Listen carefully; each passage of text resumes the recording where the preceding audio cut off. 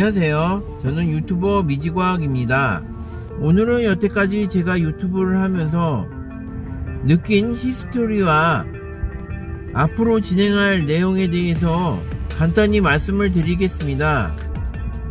첫 번째, 미지과학이 진행한 내용입니다. 주요 내용은 바로 여기와 같이 되고 있습니다. 홀로그램 우주론에 대한 내용입니다. 에어럴 외계인에 대한 내용입니다. 천사와 영혼에 대한 내용입니다. 은하철도 999에 대한 고찰 내용입니다.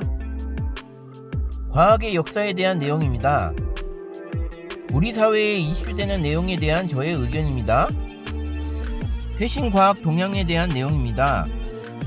우주 과학에 대한 내용입니다.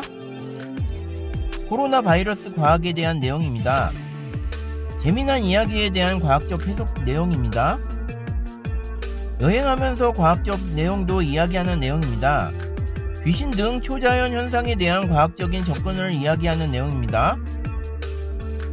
영화 내용에 나온 과학적인 내용입니다. 드라마 내용에 나온 과학적인 내용입니다. 지구 환경에 대한 과학적인 내용입니다. 물리학적인 과학적인 내용입니다. 약에 대한 과학적인 내용입니다. 음식에 대한 과학적인 내용입니다. 사회의 재미난 이야기와 과학적인 설명입니다. 제품을 보면서 과학적인 설명도 진행하는 내용입니다. 동물에 대한 과학적인 설명을 진행하는 내용입니다. 제가 먹방도 좋아요 일부 진행했었습니다.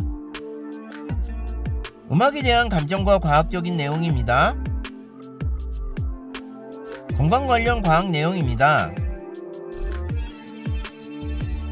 최신 무기 관련 과학 내용입니다. 제가 사실은 과학적인 호기심이 굉장히 많은 사람입니다. 처음에는 제가 홀로그램 우주론에 대해서 말씀해 드렸는데요.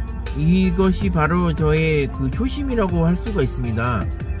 하지만 제가 다른 사람한테 어, 유튜브의 특성에 대해서 공부를 했고 여러가지 확인해 본 결과 너무 깊은 우물을 파고 돌면은 좋지 않다는 결과를 확인했었습니다.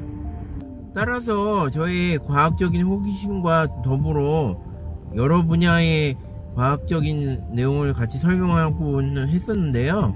어, 결과 너무 방대한 범위를 말씀을 드려서 제가 이야기하던 주요 내용이 약간 희석된 거 초심을 잃지 않고 계속적으로 설명을 해 나가겠습니다. 앞으로 미지과학이 나갈 방향은 바로 이렇게 됩니다.